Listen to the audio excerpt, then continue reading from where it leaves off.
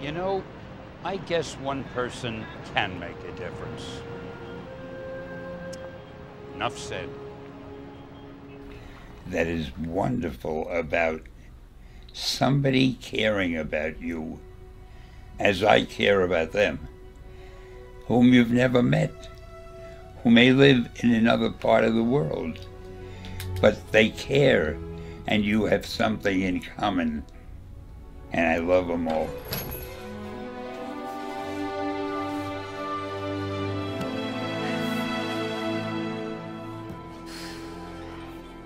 Love seeing you two together again. You always were my favorites. I don't really think of them as my characters. I, I really sit in the theater and I watch them the way every member of the audience I'm just happy them. that I've had a hand in all of this.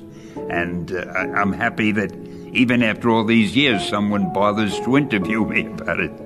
I'm really very they were uh, characters flattered. that reflected my own heartbreak and my own regrets. How so? Dr. Doom wears body armor to conceal his own mangled form, right? Yeah. Okay. That was me beneath the armor. The Hulk. A normal guy one minute, a rage of emotions the next. Just like me when I thought about what I'd I given think up. The thing I'm proudest of regarding creating the Spider Man universe is the fact that people of all ages seem to love Spider Man. And more than that, he's international.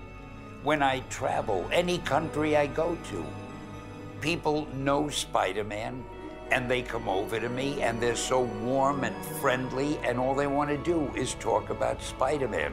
Well, you can just imagine if you've spent your life working on something and you find out that the fans love what you have done and can't wait to meet you at a convention to tell you how pleased they are with everything you've done and to thank you for what you've written and, and done for them uh, creatively.